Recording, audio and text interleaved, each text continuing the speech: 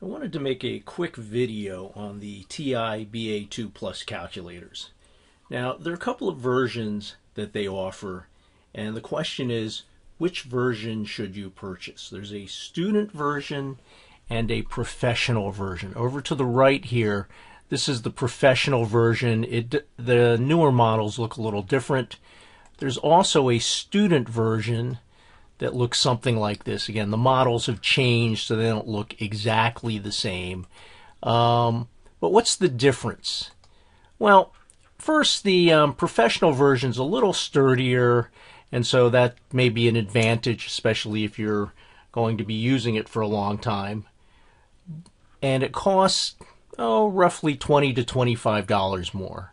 As of this um, recording, the um, student version costs around $30 and the professional version a bit over 50 So is it worth the extra money? Well, there are a few extra features.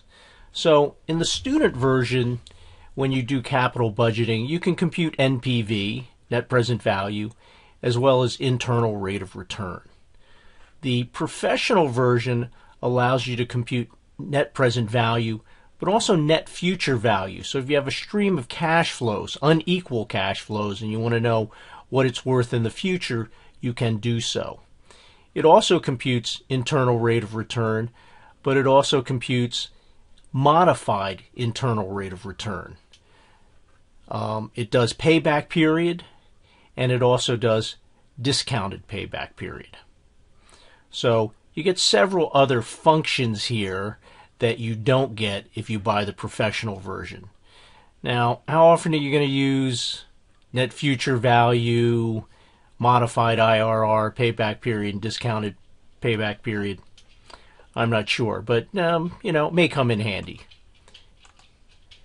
Um, the student version, in terms of the number of cash flows you can put in in the cash flow worksheet, is limited to 24 where the professional version allows you 32. And there's also a bond worksheet, and in the student version, you can compute bond price and accrued interest, but in the professional version, you can also compute modified duration. So, as I was looking at both versions of the calculator, these seem to be about the only differences in the two. So, if you're going to use this for a long time, um, might be worth the extra $25. For students, um, it may not be worth the extra money.